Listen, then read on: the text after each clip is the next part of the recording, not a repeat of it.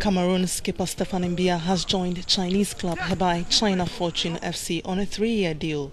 Initial fees have not been disclosed, but persons familiar with the arrangement say he stands making 25 million euros.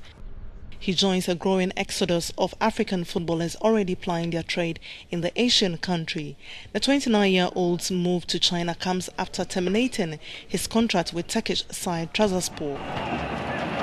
In the past, Mbia had stint with Olympique Marseille, Queen's Park Rangers and Sevilla.